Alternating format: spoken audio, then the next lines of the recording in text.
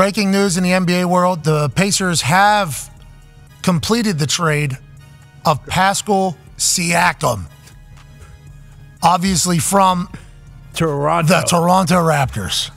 Wow. This guy's this guy's got one year left on his contract. Uh-huh. So everybody was thinking that if they were going to trade for him, he's a hell of a ball player. Mm-hmm. You're probably going to have to pay him a massive deal as well. Then there was other people saying, no, that's not the case. It could just be a kind of finish the season type thing at the current. We don't know what the Pacers are thinking, but we do know with Pascal and Tyrese Haliburton and Myles Turner. What? Look out Oh, for the oh, boy. Pacers. Big Look three. out for the Pacers. Oh no, we lose Bruce Brown. Yeah, it is an RIP Bruce Brown. Bruce Brown's a great player for no. us. Uh, He's been a great player. Both of them? NBA champion. We got to send ours too, or Yeah. No, Tony- I'm not going to fucking Toronto. Okay, Bruce made a decision. But the Raptors are pretty fun squad now, as are the Pacers.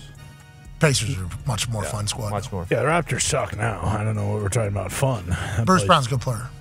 Great player. I think I heard the Toronto Raptors coach talk the other day. I had no idea that was the case. Oh yeah, Radko. He's pissed. Show you how much they find him. But also, like, right? He wasn't.